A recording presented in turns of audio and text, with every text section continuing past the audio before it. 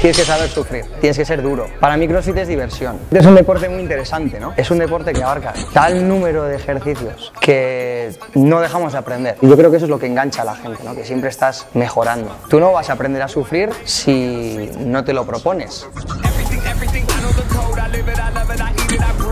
Y tienes que tener un objetivo claro para ello. Entonces, para ser bueno en algo, tienes que quererlo y sobre todo tienes que disfrutarlo, porque objetivos es fácil ponérselos, pero no es un camino corto. Yo no creo que yo tenga ninguna cualidad especial, yo soy un tío normal, lo único que he hecho ha sido seguir entrenando. La gente me ha visto a mí en los games, la gente quiere ser la persona que va a los games y, bueno, este año mientras yo estaba haciendo otras cosas, esta gente estaba entrenando y estaba eh, aumentando su hambre por ocupar mi puesto, ¿no? Entonces, bueno, este año no va a ser fácil, solo puede quedar uno, como decían en, Los Inmortales. Voy a ir a por ello y voy a hacer todo lo que sea posible para, para volver a ganarlos.